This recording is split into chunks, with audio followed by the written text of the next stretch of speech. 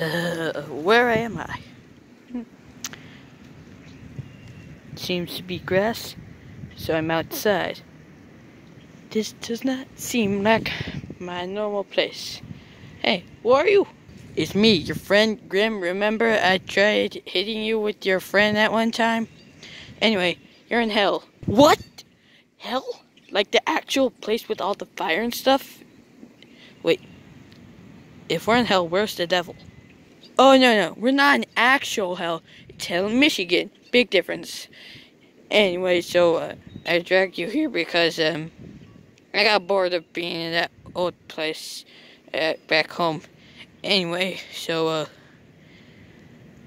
what do you want to do? I don't know. I did not plan on being here. What do you have in mind? Hmm. We can play mini golf. Shoot, it's closed. What are you gonna do now, genius? Uh, I don't know. Well, let's go over there. Okay, so you had to stick your head in there. I'm going to take a picture. okay. This is humiliating. Hey, stay still. I need to take a picture. Click. Oh, shoot. You fell. Are you okay? No, I fell. Thought I'd have more control of my body, but no. Okay, what else do you want to do? Uh, leave. Shoot. Just lost my friend. Now how am I gonna get back here?